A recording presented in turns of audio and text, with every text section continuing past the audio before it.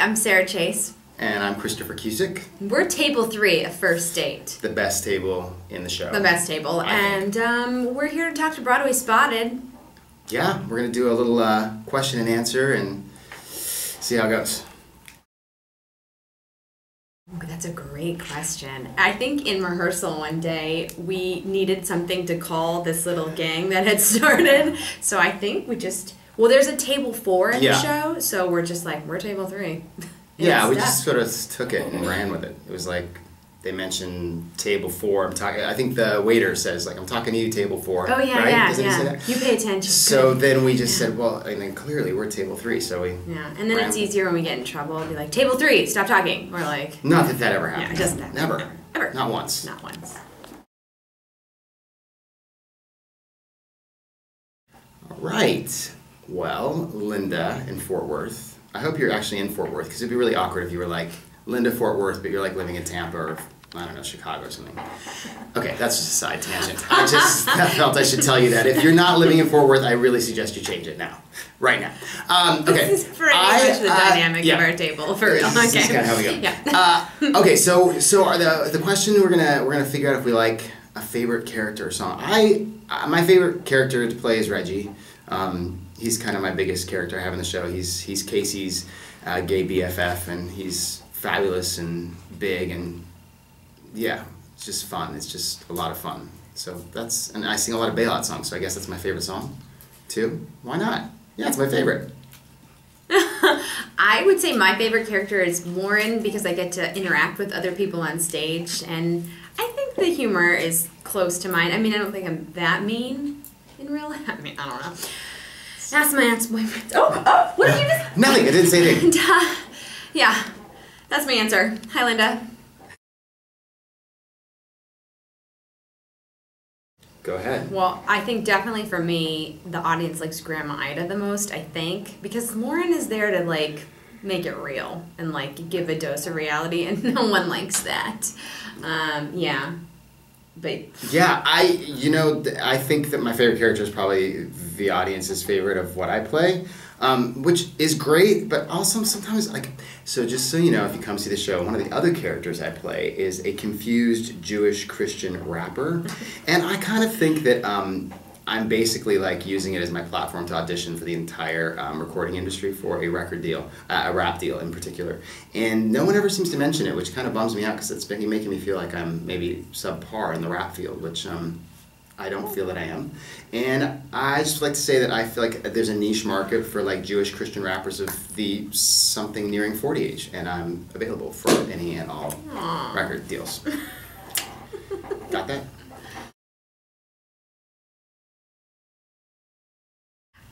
I think again this was hatched during uh, rehearsal because we have this downtime where we sit at table three when we're not doing our characters, and I don't know. I think one of us must have just said. No, I was- know, I know. Actually, I'm going to just pause her there because the way this all came about was that we would have a lot of downtime at table three, and during rehearsals, when you have a lot of downtime and you get started talking, it kind of becomes disruptive. So we just naturally geared towards pulling out our phones and texting and doing Sure. stuff during the rehearsal process, and getting in a lot of trouble from our stage manager for that. Ugh, yeah. Um, Yeah. But then it just sort of, I think that's kind of where it was born. Yeah. Yeah. You kind of just, you kind of ran with it. Actually, it was a lot Yeah. of Sara.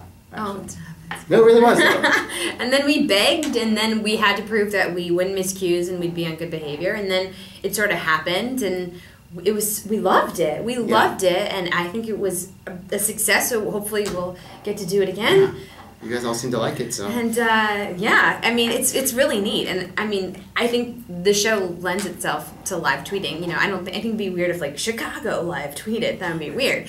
Um, but for us, it just fits. I don't know. It just Yeah, it's the, normal. the style of the show. It's a dating show. It's We talk about people our age. Yeah, Yeah. you know, like people very are. self-aware, and that's what Yeah. Twitter is. And And who hasn't been on a date when you're just like talking to the person, you're it's so awkward, and you just wish you could pull out your phone and just Oh God, yeah. bury yourself in, twi- in tweeting or texting or something other than having to talk to the other person. Not that she's not a delightful dinner companion every night for 90 minutes.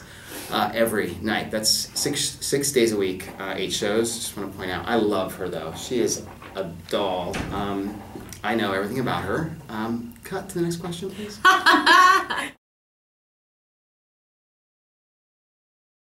Live, I live tweeting took ten years off of my life. Yeah. Just this first time, um, because Yeah. we didn't really, we didn't. Well, first of all, how is this for a live tweet thing? Zach's mic went out in the mid, in the top of the show, Yeah. and he had to leave stage, which we never planned for, and. Um, we were just sitting there like in limbo for three minutes, which feels like an eternity on stage, but it was like the perfect thing to live tweet. And Yeah. but that wasn't the question. Um, yeah, it was terrifying. it was terrifying.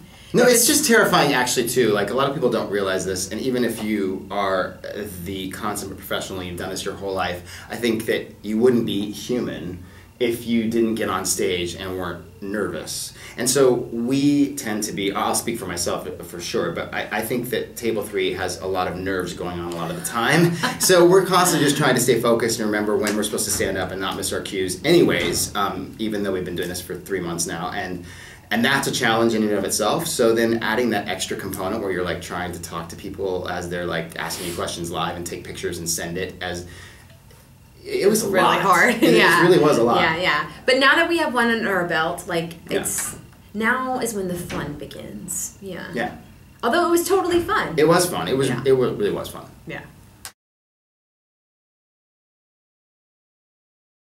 Okay.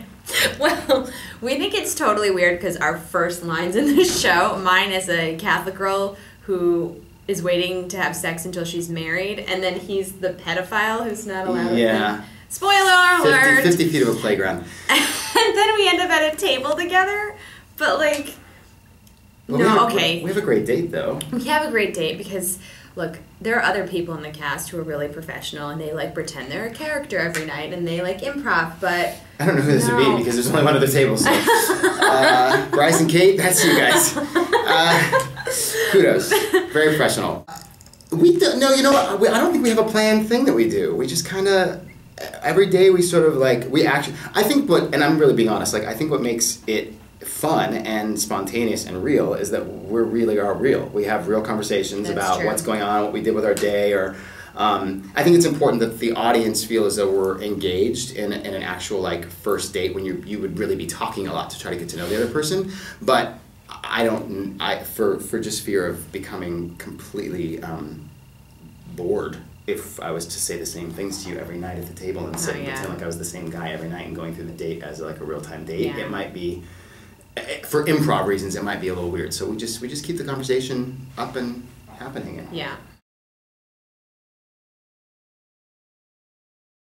Oh, I actually forget a lot of what we were changing Yeah. so much on a daily basis that um, actually somebody sang I don't remember what happened last night. Somebody sang a bit of the show. Oh, yeah. Um, the other night in our vocal rehearsal, and I had forgotten that that was like a line from the show, and I was like, oh, I, I kind of liked that part. Now I can't even remember what, what that was either. It was in the opening number.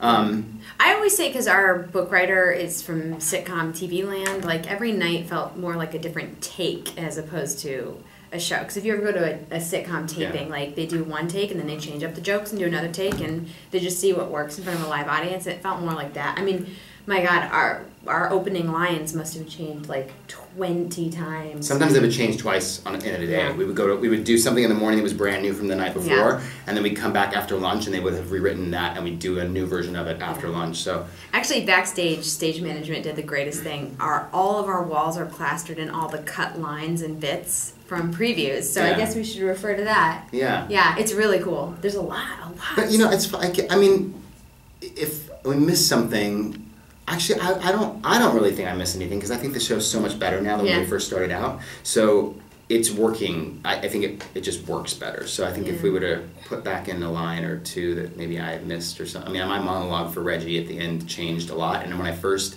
did the new version of the monologue, I was just like kind of devastated and completely thrown. I didn't know what to think because I thought the last one was so funny. How am I going to possibly make this one funny? And now I can't imagine doing Yeah. the old version. This is so much better. Yeah. So much funnier. So yeah, yeah, yeah, yeah. yeah.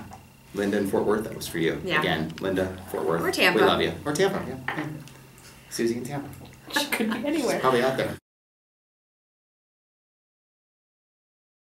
It's probably the question we get the most from people at the stage door is what do we talk What about? do we actually fit, we really talk about who got kicked off Project Runway, Absolutely. America's Next Top Model, Yeah. um, uh, whether or not we should be getting faceless within the next five years Yeah. if we're starting to look old and haggard. Yeah. Sometimes he puts his Ricola in his bottom lip and pretends he's Bubba from Forrest Gump. Know, the important things. it's Um, keeping my um, yeah. accents and my acting chops up. That's what. Sometimes we do impressions of other people on Broadway. Um, Yeah, it's fun. It's, a lot of fun up there. Yeah. It's real great. But we're in the show. We're like in it and focused. To win it, Probably we should have said that. right? They're all loving impressions. Yeah, they're like- loving impressions. It's like, I will give you my best, Daphne. Are you ready? yeah. This is my impression, since I did Rent for a long time and I love her to death. Um, this is my impression of my, my love. Doing, um, doing, well, let's do, have her, have her do Bailout. Should I have her do Oh yeah, Bailout? yeah, yeah. Okay. This is your bailout, sweetie, your bailout. Honey, I'm calling to bail you out. Is that, That was really good.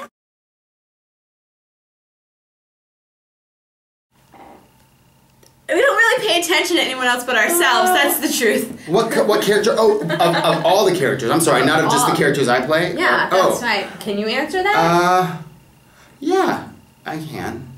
Who do you relate to? I. I mean, yeah, I. uh, I mean, honestly, I identify probably with Reggie the best because I have so many friends that are just like Reggie, and I'm a skosh dramatic at times. I can kind of fly off the handle and be a little bit over the top, and yeah, I definitely think that I would identify with him the best. I mean, on a date, I think Reggie would be so much cooler than I would ever be on a date. So for sure, if I was on a date, I'm absolutely Zach's character. I'm absolutely, absolutely Aaron because I'm I get all flustered. Clearly, in this interview, you can see that, and I'm like, oh, then I, what am I saying? Yeah. Um, Can't believe you Uh, used Gauche. skosh. I did use. I mean, after that Daphne impression, I'm pretty much never. I know. I'm. again, so We're calling out tonight. That was really hard. That was rough. That's really good. God, she's good. Yeah.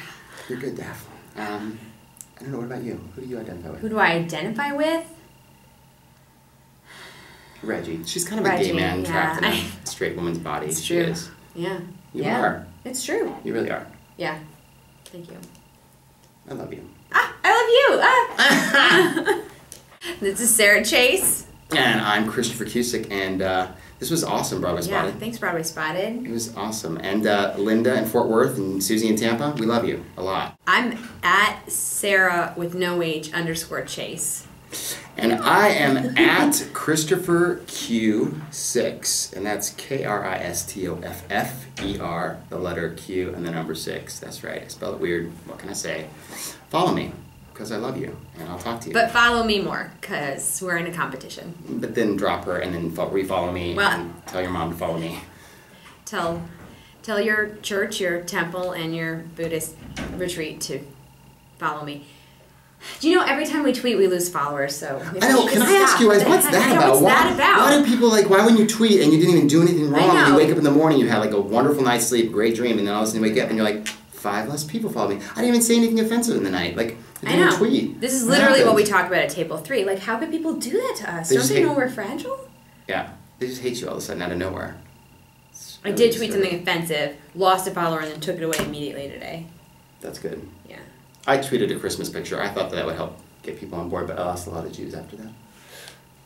Good night, bye, guys. First impressions are they totally wrong. Uh, Why I don't you know her. Harmony? Uh, I've never met on a, on, a, on the fly. I gotta rehearse that.